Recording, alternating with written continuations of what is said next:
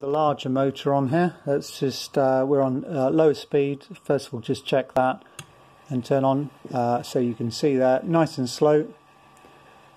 Um, if you're careful, uh, I will have to be careful here. It's got quite a bit of torque, but it is possible to stop it. I don't want to stop the thing for long.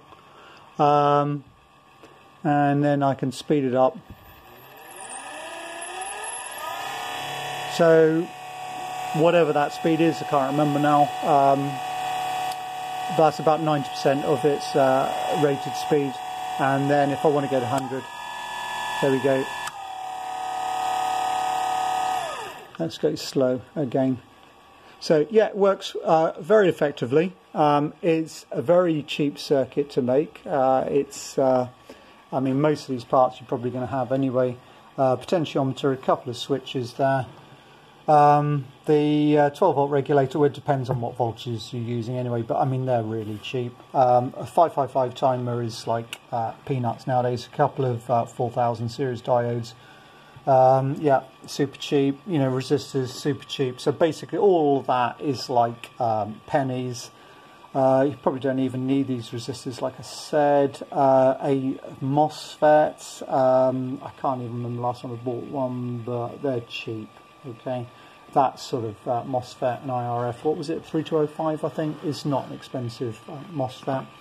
Um, the diode is probably the most expensive component here, uh, but once again that's not really that expensive. And you've probably got these, or many of these things, um, so, you know, all in something like, you know, it's a couple of pounds, three pounds, something like that. It's really not expensive.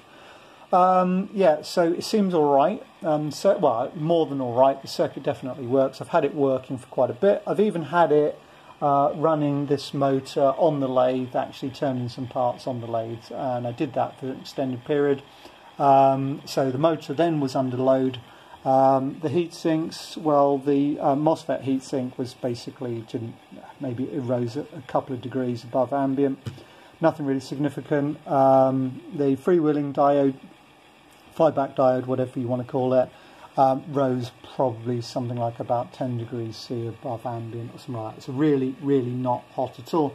Contrast that with the uh, cheap Chinese uh, motor controller that I um, originally bought, um, and that got hot. I mean, really hot, and that's probably one of the reasons why it failed. Oh, in actual fact, just seen it, I was looking for it earlier. So it's staring me right in the face. So this is the thing. I'll, I'll let you see it so you know what to avoid. Is this thing. So you look at all the stuff they've got on there. Uh, my very simple solution really, which can be made a lot more compact than it is. Uh, this works, this is cheap, this is easy to fix. Uh, this worked for about five minutes. Um, yeah, I don't recommend it. Um, yeah, it's just it's just not worth having really. I think they said claimed that it was going to be rated something like 40 amps or something like that, which I'm a bit dubious about as well. Looking at some of the traces on this, but uh, I mean, this got hot. I was uh, initially when it was working, I thought, oh, I'm going to have to stick a fan on there somewhere. I'll stick it in uh, something where I have forced air going through there because it, it was getting it was getting very hot. Okay, so um, yeah, definitely there's no markings on it but if you go onto eBay and just search for something like DC motor controller uh, there's loads of them that look a little bit like this. By the way um, some of these components actually look to me they look secondhand. Uh, it's difficult to see uh, in the video I think but it looks to me as though some of these components have actually been desoldered and then reused.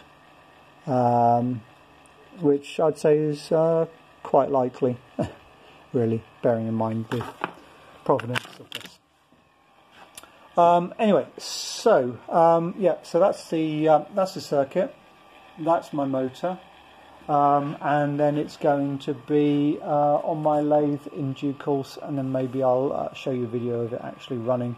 Uh, I say I have had it on the lathe before. It's actually worked all right. I sort of stripped it all down because I wanted to um, paint up um, some of the framework um, for mounting the uh, motor and also um, I've been turning a new smaller uh, pulley which mounts onto uh, this motor as well, so I get uh, um, a better torque on the lathe chuck. Okay, that's the end of my video then. Hopefully it's uh, vaguely useful for someone.